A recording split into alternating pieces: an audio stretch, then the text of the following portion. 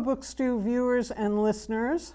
The person I have with me today, if you've been a big Book Stew fan for uh, all 10 years of the show, um, will look very familiar to you. His name is Lamar Giles, and Lamar has joined me on December 2015, March 2016, May 2017, December 2018, February 2020, October 2022, and now December 2023.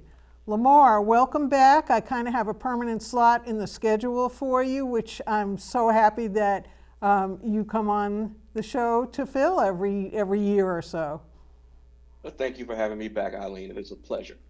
So, um, what I have front of in front of me is your output, partially actually, for 2023. This has been an amazingly productive year for you. Um, so, um, what I want to do is talk a little bit about each of these books in front of me and then about some um, upcoming, possible, really exciting good news. So, um, let's start with this book, which actually I was very happy to see that the epic Ellisons are girls.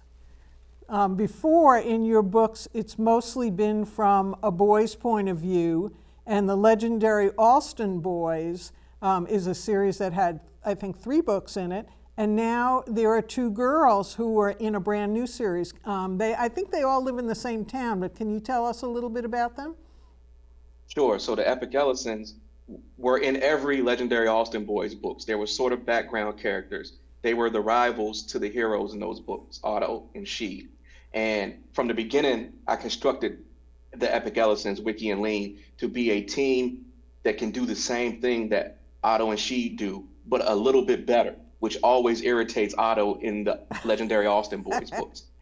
And because they're better at it, I always had it in my mind that they would eventually have their own adventure and they would leave their county for their adventure because the better team needs bigger adventures. And that's what's happening in Cosmic Camp. So, um, this has absolutely nothing to do with the fact that you became the father of a daughter a few years ago. I mean, I guess it's somewhat related. I'd had this plan in mind long before my daughter came along, but I was very happy to get further into the adventures of these characters, knowing that my little girl could read them one day. So, um, what do you think? Are you hoping this will be also a series of three? I would like it to be, but it's an interesting situation where publishers kind of absorb other publishers. There are mergers, there are changes in staff, and the Epic Ellisons happens to be a book that was caught up in one of those publishing business situations. So it's sort of up in the air. Um, you you gave me a compliment about my output this year, where yes, a lot of things have come out, but the truth is many of these things were done way before this year. They're just making their premiere because of publishing stalling things, business things. The Epic Ellisons is also the the sort of victim of that sort of delay. So how, how many years ago did you actually finish it? Um, I probably finished Epic Ellisons in 2021. Oh wow! At least it was okay. close. At least a, a, good draft was done. We still had to do all the editing stuff. But like I said, I mean, just the business side of it, mergers and things, have delayed the release of some things. And what what do you think is the ideal uh, age or grade level for the Epic Ellisons? Well, I think third grade and up. Anybody who's reading at a third grade level can have fun with the Epic Ellisons, I believe. Well, this copy I bought for my nephew, so uh, we'll have to see if they enjoy it as much as the legendary Alston Boys, which they've already uh, read. Now on to the next one. So, when I saw somewhere that you that you were one of a troupe of writers that were writing a book called House Party, of course, I immediately flashed on the movie, which I mm-hmm. loved. And I'm like, oh, this is weird that they would do a graphic novel of the movie, but it kind of sounds kind of cool. And it turns out it's completely not a graphic novel of the movie. It's a completely different set of characters. And this is uh, for, I think, adults and high school kids. This hits like a kind of a sweet spot for graphic novels. So why don't you tell us about how this came about since there are 10 writers involved?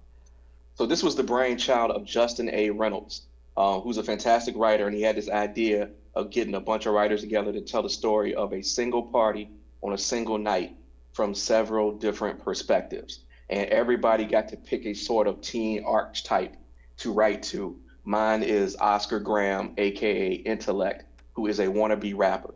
And the thing about Oscar is he's not good at rapping. Um, everyone knows it except him.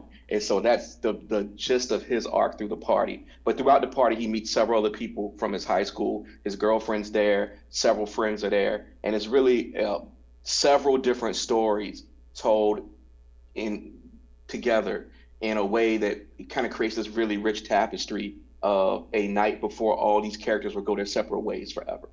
I, I, um, I'm almost at the end. You can see my little marker in there. And I just want to share um, with Books Stew viewers and listeners what an archetype is these days. So we've got um, a class clown, an influencer, a jock, a popular girl, the school paper editor, who, as it said, knows all the tea, an actor, a cool mom, which was a very, very funny kind of character to interject in there. She, her name was Carla, and she just kept saying, "Don't call me Karen. I'm not. I'm not Karen."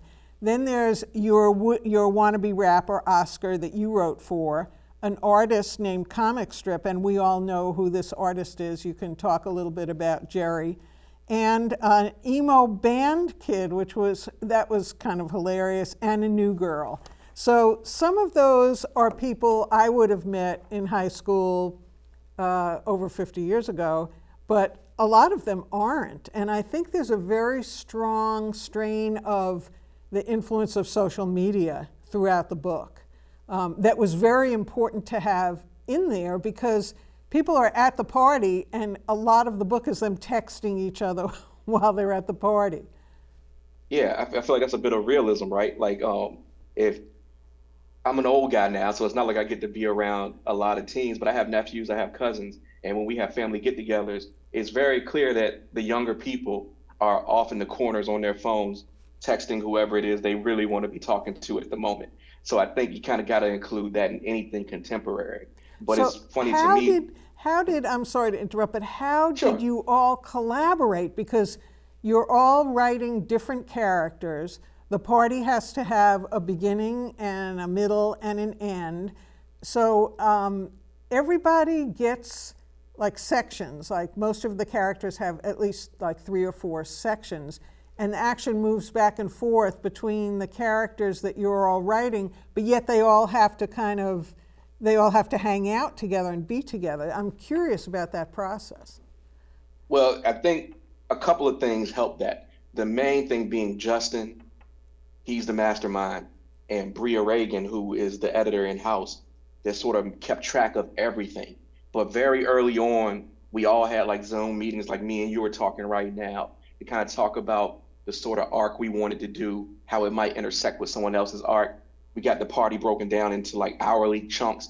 And so, and and Justin from the very beginning had like a map. And he's like, so at this hour, your character's here. At this hour, this character's here. They cross paths here. So I, I don't know how he kept all that together, but it really was helpful to us to be able to have the freedom to write our story and have him tell us like, hey, this is where you need to intersect with so and so, and this is where this event is going to happen.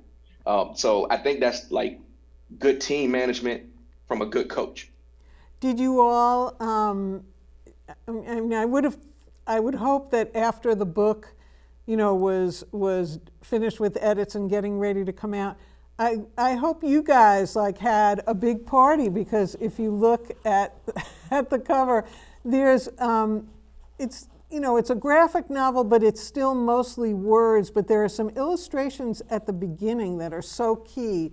Um, so the the uh, the premise is that DeAndre, who's um, a very popular senior, is having a big bash at his very very very parents' very very nice house and he's bringing together, you know, he's invited everybody, and people are nervous about going, they're happy about going. Um, but, you know, there's just, um, it, well, first of all, it's hilarious to watch these people interact and avoid each other. And then there's the kidnapping of the rival high school's uh, mascot goat, which added a lot to it, and a pizza stealing dog. And so, um, did you all get together even on Zoom after it was done and like and have a good a good like Zoom party or anything? So the sad news is we never really got everybody together at one time, just because schedules being what they are and there's so many people. And also this was largely composed during COVID times. So never got everybody together. I think at the most we might have had six of the contributors on a Zoom at one time. But when the book came out, you know, we got a group text. There's always a group text. So that was going pretty hot and heavy when we finished copy edits, when we first saw the cover, when the book came out. And we all still keep in touch. So maybe the stars will align and allow us to hang out in person together one day. I, I think this would be um, such a great either series or movie. Um, but um, do kids now, I don't think kids now really remember the original movie House Party.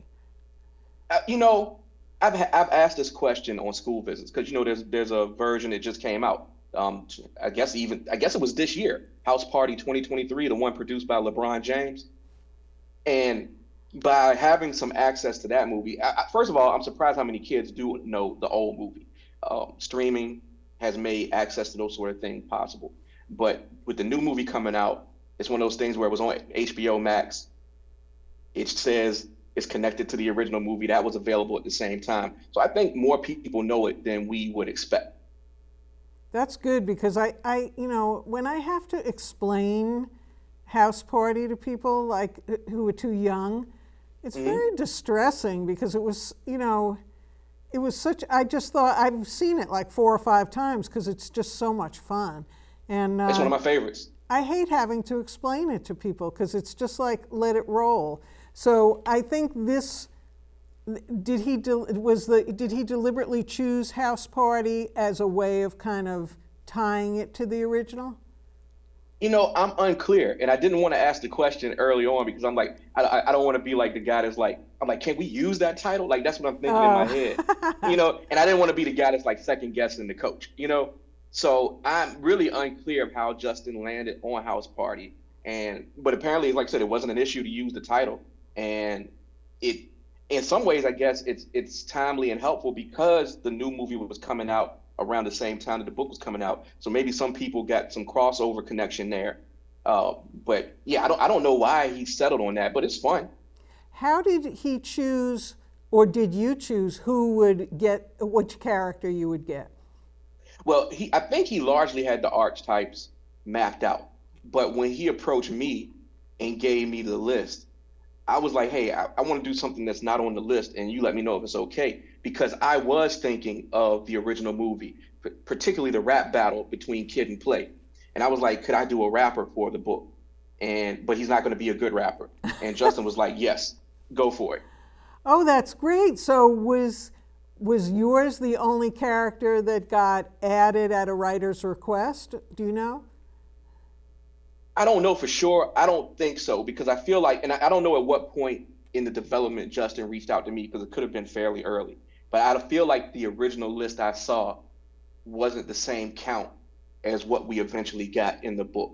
So I'm thinking maybe something else was added along the way.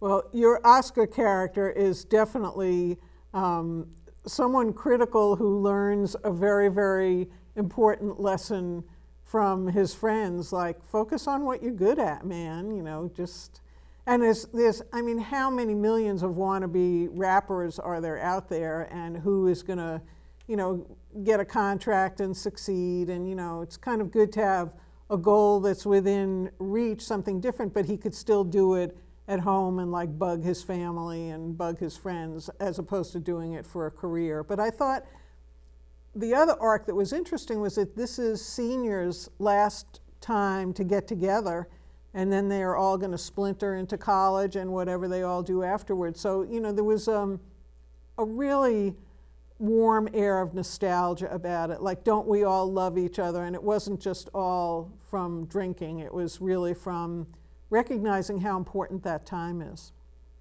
I thought that was nice really well done. Yeah, I mean, I think Justin did a great job of weaving it all together. I mean, it's just fun to have a sort of light, funny book.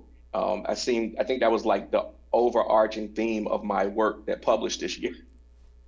Well, uh, I don't know, you know, light, light, funny, yeah, I guess. But now we get to static. So I know you are really into superheroes, um, comics.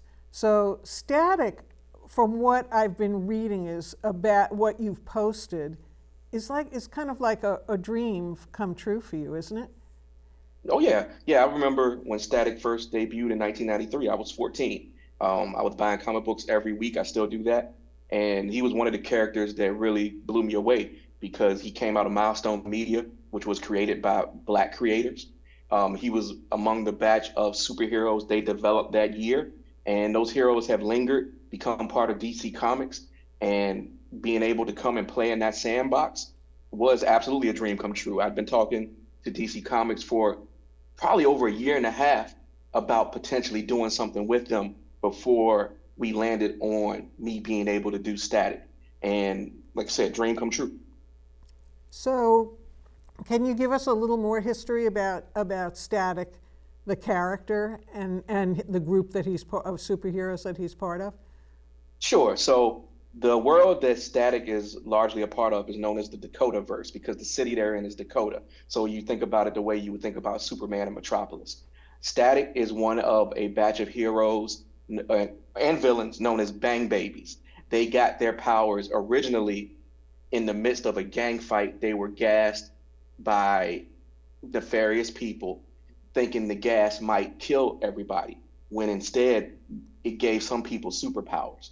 The origin has been um, changed a bit in modern times, where this is happening at essentially a Black Lives Matter rally. And when the cops gas people, that gas kills some people give some people powers. Static, his real name is Virgil Hawkins, gets electromagnetic powers. He's able to do all sorts of things with electricity, magnetism, um, up to including flying, shocking enemies, um, healing himself. He can use electromagnetism to heal himself when he's injured. Um, he's a fairly strong character and maybe somewhat of an analog for a Peter Parker or Miles Morales if you're thinking about Marvel's characters.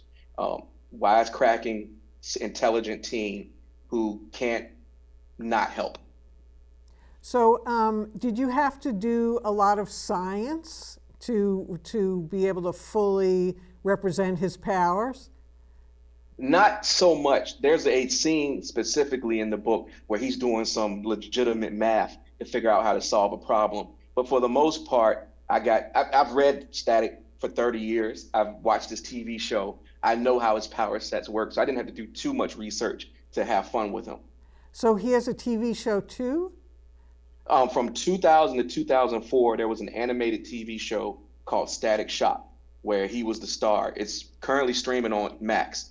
So if anyone wants to watch any of those old episodes, they're all there. Oh, that's great. So because you were so familiar with him, to um, to inv- did you? So you the illustrations are gorgeous, and did you two work together to invent the story, or how did you come up with the storyline, or was it given to you, or how did that all work? Now, the storyline was all me. Um, when I was asked to write this graphic novel, which is for young readers, it's, it's considered a young adult graphic novel, the first that Static's ever been in. This is sort of different than writing a monthly comic because Static also has a monthly book that comes out.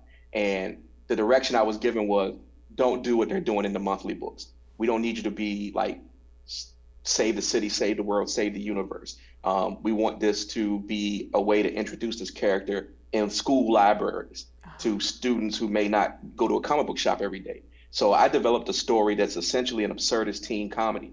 It's sort of the same framework as movies like House Party, um, Adventures in Babysitting, Ferris Bueller's Day Off, where it's a teen comedy set over the course of a very short period, in this case, one night. And it's it's funny. It, it's a funny adventure about Virgil being dumped by his girlfriend and having to sort of deal with that as he goes on these misadventures all through one night. He has um, a very strong group of friends too, and some uh, pretty strong enemies as well. Um, I just like when did or so you said that this is for people who don't necessarily go to comics to buy comics every week. What's, what's the main difference, other than length, between a comic and a graphic novel? Honestly, these days I think that's the only difference. Um, and sometimes what you what you'll see as a graphic novel is just a collection of say five or six comic book issues in one book. So I think length is the main thing. A monthly comic book is going to be about 22 pages with a clear break at the end. It's sort of not necessarily a cliffhanger, but it's something they they put in to make you want to come back the next month. Whereas, for instance, my graphic novel doesn't have those pay, breaks every 22 pages. It's more constructed like a movie to have certain act breaks, but they wouldn't fall into 22 page segments neat, neatly. So, um, do you read generally read both graphic novels and comics? Honestly, I read the monthly books more just because they come out every week and I'm always buying new books. And if I'm reading graphic novels, like some some graphic novels are constructed as a regular novel would be, meaning that it was always meant to be very long and not those collections. And so occasionally I'll come across those. Like I think one I read in grad school was famous one. I think it's called I might be messing up the title. I think it's called Funhouse. But like there are graphic novels that are written to be lengthy and not have the breaks like I discussed. But for the most part, I do read the monthly books. Do you think how much of an influence do you think anime and manga have had on American graphic novels? So I'm not sure I'm really qualified to answer this question. And and young readers I've met in schools across the country get on me about this all the time because I I'm not very well versed in anime or manga. And so I'm always looking for recommendations. But from what I understand, I'm not clear how it necessarily influences American comics. I just know they're extremely popular among the youth, and that's a style that they gravitate towards, in addition to American comics. So I can't say how one relates to the other. I just know I need to study more in terms of the manga and anime so I don't get roasted when I go to these schools. Well, I had never um, read any, and then I was um, assisting a student in reading and he was bored with what we were reading, and he said, and I was getting books out of the library, and he said, Can't you get me my, I think it was called My Hero Academia? Academia, yeah. And I'm like, What? So I, my library luckily had it, and we were reading it together, and he was just zooming through it, and I had a hard time because the print is really small and conceptually, I, we were coming, and we came in in the middle of the series, so I wasn't getting what was going on. But he just blazed through it, and he probably had a copy at home, so maybe I wasn't really helping him with his reading skills, but he certainly enjoyed it, and I was just, I never knew anything about this. So I'm like yeah, you, I've I got to learn more about it too. I've gotten that recommendation, My Hero Academia. I've been told um, Attack on Titan is one I should check out. Uh, I think that's a manga and the anime. Um, One Punch Man, I think that's streaming on Netflix maybe. So I have a list of things I'm supposed to catch up on as time allows. I hope to get to them. Okay, well, uh, I'm I'm so happy for you that you really got to work on a series you've been following so long and uh, and really have a lot of fun with it. Do you think it there was this was funnier than the comic version is? Because you said there was a lot of this was deliberately had a lot of humor in it. What the, was that a different path than the regular comics take? I think so. I mean, in the monthly books, Virgil's typically dealing with more serious stakes. Um, there's been like a, a, human trafficking arc in the monthly books, and so, and not to say that those books don't have humor, but I purposely steered away from topics that heavy, just because my mandate was to do something different, and I thought it would be neat to see how these teenage superheroes sort of react on a off night when there's not a dire threat. Yeah, that's, that's always true. interested me. Who even know? thinks um, about like what Superman and Batman do on their day off, right? Yeah, there's like there's a really cool issue of Batman where Bruce, Selina Kyle, Catwoman go on a double date with Superman and Lois, and and and it's, it's to a carnival, and that's one of my favorite issues because you don't often see that sort of interaction between these characters. And in my mind, I'm thinking, you know, you're not fighting supervillains and and cosmic threats 24/7. I want to know what it's like when the Justice League has to make a Costco run or something to that effect. so this really is almost like a double dream. It's like a character you love in a situation that you don't get to see him in very often. Yeah, I mean, I was surprised. I honestly didn't know if the people who make the decisions to greenlight things would be into it. But they took that pitch as is. I mean, very minimal notes. And so I was excited. I mean, I guess other people like to see things like that too. Which is which is good to know. And now we're running out of time, so I have um, a picture I'm going to show. I don't know how this will come up, but um, here is your novel, the last one we talked about, The Getaway. And here is you with someone who is now associated with The Getaway, and this is Don Cheadle. And when I saw this, that, my heart went like, ah. So, how did that come about? And fingers crossed, what's going on with um, The Getaway being now being partially in Don Cheadle's hands? Yeah, so I mean, it came about because when The Getaway was first announced as a book that was coming out, I guess the pitch was attractive enough where a whole bunch of Hollywood producers and studios wanted to talk about possibilities. And so I ended up having a chat with like 10 different major producers who were interested in taking The Getaway and either turning it into a TV show or a film. And you know, this is this has been the first time it's been that much interest in something I've done. And so I had the privilege of being able to decide who I wanted to work with among that batch. And meeting with Mr. Cheadle's, this Radical Act production company, um, the people there, they really seemed to get the book in a way that felt very comfortable to me. The stuff they were envisioning in terms of trying to translate it from text to film resonated. And so it was an easy decision to go with Mr. Cheadle's company. And it's, you know, we made that decision um, but you know, there's been a lot of turmoil in Hollywood over this year between that writer strike and the actor strike. So to be in solidarity with all of them as they try to negotiate their situation, um, it's pretty much been on pause. But since both strikes are over now, we're trying to get some momentum back and see if we can make the TV show happen. Uh, what I'm curious about, uh, because the book is so obviously a takeoff on Disney and Disney World and their properties. Um, it'll be was Disney one of the bidders that wanted to take on the book?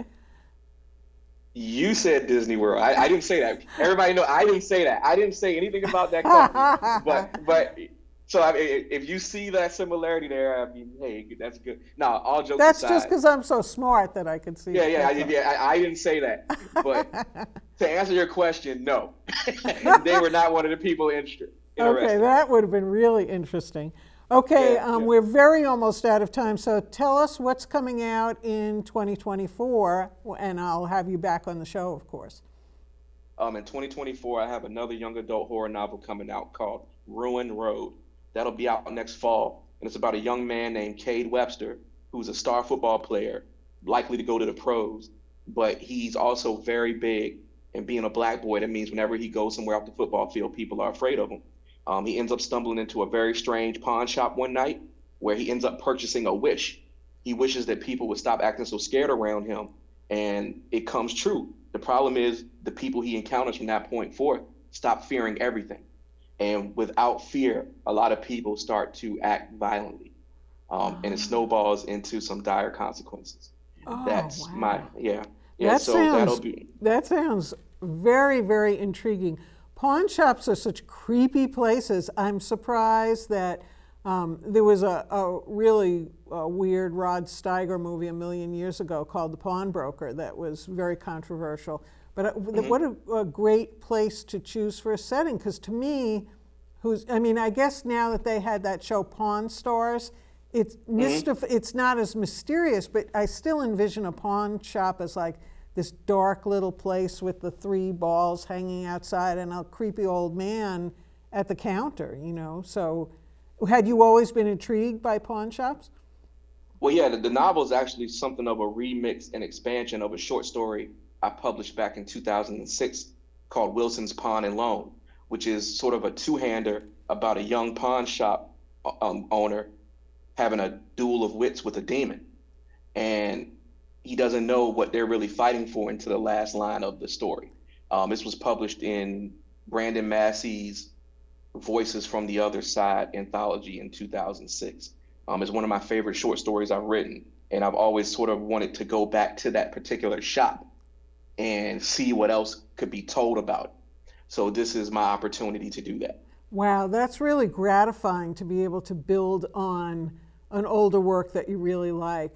I wish we had more time to talk about the anthologies because you've been in many, and even especially a Star Wars one. But I'll show uh, pictures of those at the end of the episode because now we have to say goodbye until uh, late 2024. Lamar, thanks again. It's always a pleasure. Thank you for having me. And uh, Book Stew viewers and listeners, you certainly have a wealth of Lamar Giles works to choose from.